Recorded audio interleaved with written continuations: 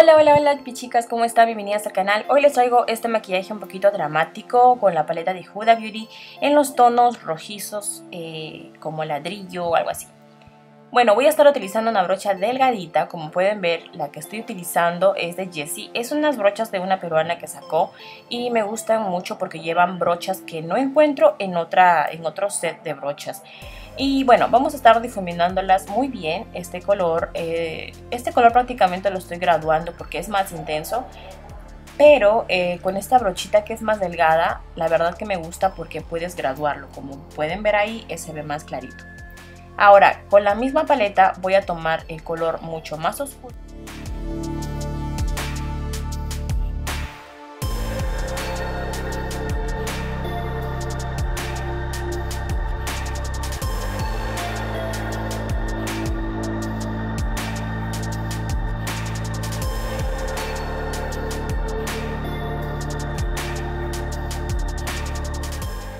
Después de aplicar estos colores con la misma brochita vamos a difuminar un poco para que no se vea marcado.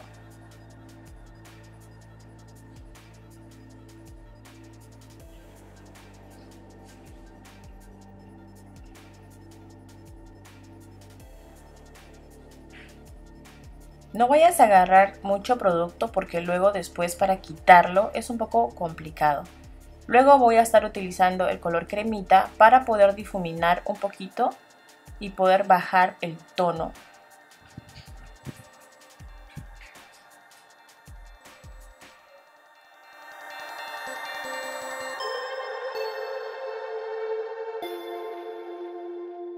Ahora, para realizar este paso vamos a utilizar la brocha un poco húmeda y el color más clarito, que como les había comentado en el primer look que hice con esta paleta de Huda Beauty, les dije que esta paleta me pareció súper linda porque tiene tonos muy bonitos y la verdad que se ven muy hermosos estos tonos. Este color que es más claro lo voy a estar utilizando con la brocha mojada para que pueda agarrar y para la hora que abrimos y cerramos los ojos no se vaya a arruinar este color.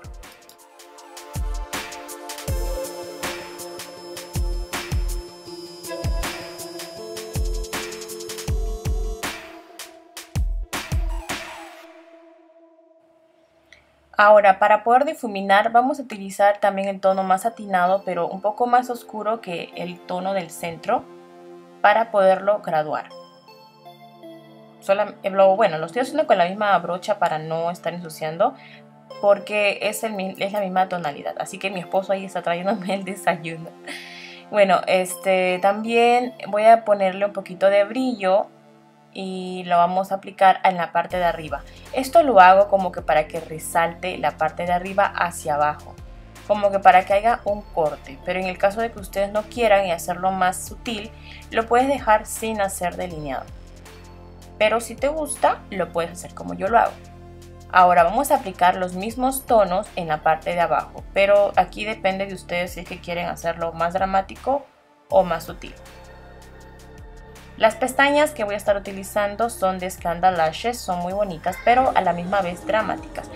Y hacía muchísimo ruido, así que yo aprovechaba la música.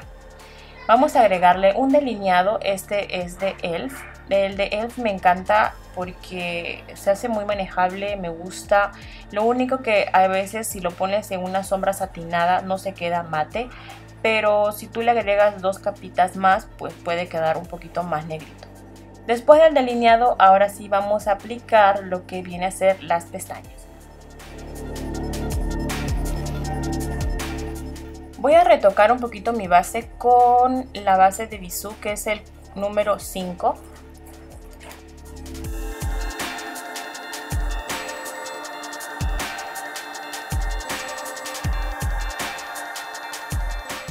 Y le vamos a aplicar también un poquito de polvo suelto para poder sellar lo que es la, base que corregí.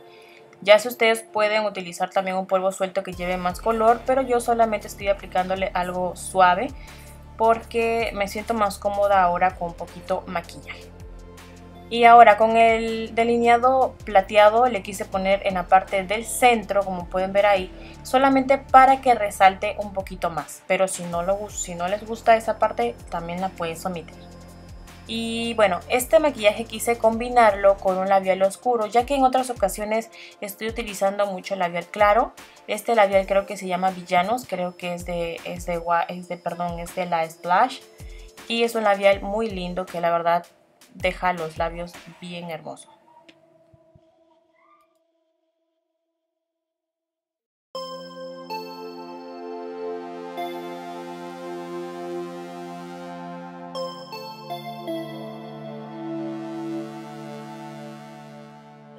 Ya aquí finalizamos con el iluminador. Aquí sí le puse un poquito más que en el look anterior. Le puse más del tono más doradito, más quemado. Ese me gustó muchísimo más para aplicarle. Bueno, también chicas, el cabello no lo estoy utilizando tan lacio que digamos este, estos días porque el calor eh, no puedo mantener el, el cabello liso por lo que sudo y se me pone crespo la parte de abajo.